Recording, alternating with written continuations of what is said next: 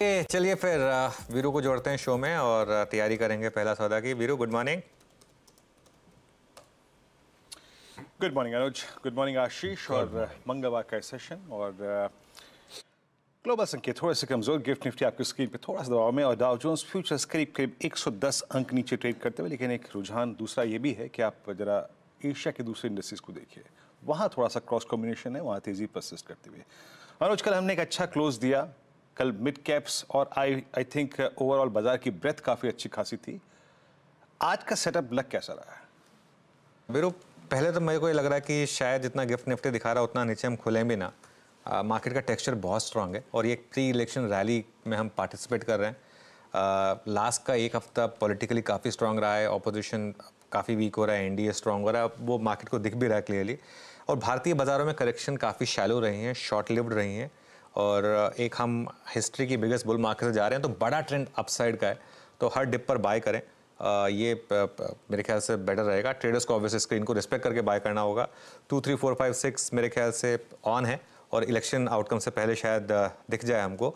और mid small cap यहाँ मुझे लग रहा है सेलेक्ट शेयर्स में वापस बड़ा पैसा बनेगा मिड स्मॉल कैप में। करेक्शन हो चुकी है खत्म हो चुकी है वो करेक्शन ये हमने लगातार व्यू लिया पिछले दो हफ़्ते से करेक्शन खत्म हो चुकी है मिड स्मॉल कैप में। यहाँ अच्छा पैसा बनेगा। आज बस ग्लोबल सेटअप थोड़ा ख़राब है, खासतौर से जो US bond yield dollar index brent crude gold सब तो थोड़ा सा उसका इम्पैक्ट है, लेकिन डोमेस्टिक खबर अच्छी है। जीएसटी पे शानदार खबर आई है। मार्च का जीएसटी साढ़े ग्यारह परसेंट बढ़ा है और अब पॉलिसी भी आने वाली है अर्निंग सीज़न भी आने वाला है। मेरे ख्याल से फोकस डोमेस्टिक क्यूज पर ही रखें तो ज़्यादा बेटर रहेगा वीरू डोमेस्टिक क्यूज पे फोकस रखिए, वो ज़्यादा बेटर रहेगा। बाकी स्टॉक्स क्या चीज़ करने कुछ देर में इस पर बातचीत भी होगी, लेकिन ये बेसिक सेटअप आज का। शायद उतनी गिरावट ना हो जितना कि अभी तक गिफ्ट निफ्टी संकेत दे रहा है। जरा एक बार शुरुआती टिक्स देखते हैं निफ्टी के, फिर आपको इंतज़ार होगा। आज की स्पॉटलाइट का, उसकी तरफ़ चलेंगे कि आज के वो दो महत्वपूर्ण स्टॉक्स कौन से हैं। तिरपन अंक नीचे याद रखिए, गिफ्ट निफ्टी था it's two two five five zero और मात्र अगर आप देखें, तीन सेकंड का समय बाकी है, एक बार हल्की सी निफ्टी देखते हैं। It's two two seven three three okay Anuj आज के दो एनालिसिस पॉइंट आज के जो स्पॉटलाइट है, उस पर क्या शामिल किया गया? है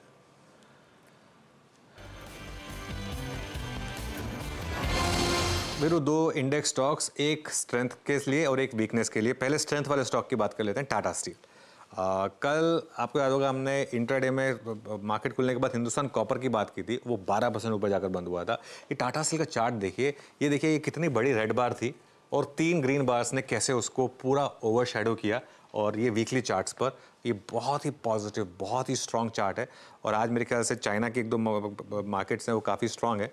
तो मुझे लग रहा है कि यहाँ पर मोमेंटम अच्छा रहेगा। जैसे मैंने कहा कि एक बड़े डिक्लाइन को तीन हफ़्ते की तेज़ी ने पूरा नेगेट किया है और तीन साल का चैनल क्रॉस हो रहा है यहाँ पर। ऑल टाइम हाई पर स्टॉक ऑल टाइम हाई पर इसका पुटकॉल रेशो दो दिनों से शॉर्ट कवरिंग है यहाँ पर और मेटल्स में मोमेंटम अच्छा है। अच्छा मोमेंटम है मेटल्स में तो इसके लिए मतलब ये ग्लोबल क्यूज़ का डॉलर इंडेक्स का कितना इम्पैक्ट आएगा ये देखना होगा, लेकिन व्यू काफ़ी पॉजिटिव है टाटा स्टील पर। एल टी आई माइंट्री दूसरा स्टॉक है हमारे रेडार पर। एक्सेंचर के उस गाइडेंस के बाद से लगातार लार्ज कैप आईटी में बड़ी डिक्लाइन है। एल टी आई माइंट्री देखिए, मेरे ख्याल से ये इसका और ये इसका डेली चार्ट है। और ये देखिए डेली चार्ट पर एक डेथ क्रॉस बनने की तैयारी हो रही है। 50 डीएमए और 200 डीएमए का जो क्रॉसओवर है नेगेटिव साइड पर, और ये नॉर्मली काफ़ी नेगेटिव होता है। Simple moving average 200 day simple moving average और 50 डे सिंपल मूविंग एवरेज और ये स्टॉक वैसे भी सारे मूविंग एवरेजेस के नीचे। देखिए कितना ए पैटर्न बना है। जितनी तेज़ी से चला था, उससे ज़्यादा तेज़ी से ये स्टॉक नीचे आया अब बस ये है इशू कि क्या काफ़ी गिर चुका है या नहीं, ये देखना होगा। लेकिन ऑब्वियसली नंबर्स आएँगे, उस पर भी काफ़ी कुछ डिपेंड करेगा। तो टाटा स्टील पॉजिटिव साइड पर एल टी नेगेटिव साइड पर, लेकिन स्टैंडर्ड डिस्क्लेमर अगर आप बाय या सेल कर रहे हैं तो अपने फाइनेंशियल एडवाइजर से पूछ के करिएगा, क्योंकि ये रिकमेंडेशन नहीं है।